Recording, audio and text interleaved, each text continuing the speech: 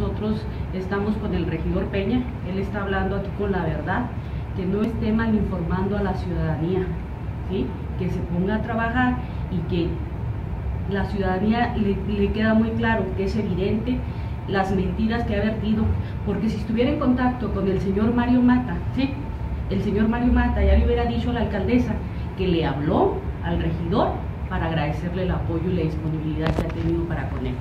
De ese tamaño está, está el, desacuerdo al, parecer, o la falta de contacto, o la falta de coadyuvancia, o la, o la colaboración que debe existir como primera gestora responsable en apoyar a los ciudadanos de este municipio.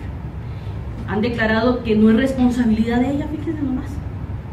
Si es la alcaldesa de aquí, que la administración está en manos de la administración estatal, ese es otro punto, pero eso no, la, no, no, le, no le quita ni le exime la responsabilidad que tiene para con los ciudadanos. Ahí está una propuesta, ojalá y tome nota la alcaldesa de, de la propuesta que acaba de hacer el regidor. Yo quiero hacer otra propuesta que la vamos a subir inclusive a Cabildo, este, es para solicitarle, ¿sí? Si los expertos que tienen la materia eh, no le han hecho las declaraciones correspondientes como debe de ser, le quiero solicitar que deje de regar los 300 parques con agua potable. Esas son soluciones de fondo. Eh, ¿Por qué no utiliza y no le invierte todo lo que quiere invertir aquí gastando pipas en el tratamiento de agua en vez de estar pintando los parques? Pues vamos ahorrando esa agua potable.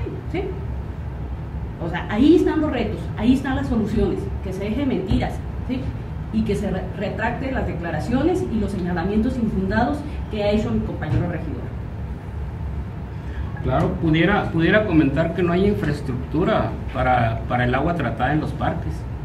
Si realmente, realmente no hay en muchos de ellos, pero sí hay formas, los técnicos que ellas tienen, hay formas de colocar cisternas para ahí transportar el agua, el agua tratada y de ahí regando los parques. Se puede colocar una cisterna en cada, en cada uno de los parques.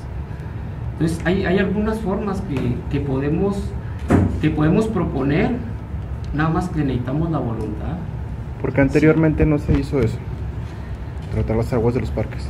Mira, anteriormente las, las, administraciones pasadas sí no, no sé qué proyectos hayan tenido, pero a nosotros nos corresponde esta, esta, esta, responsabilidad con esta administración y estamos puntualizando de qué se puede hacer y qué no ha hecho. En dónde podemos aportar. Lo que queremos es aportar, aportar para que la, que la comunidad este no padezca el vital líquido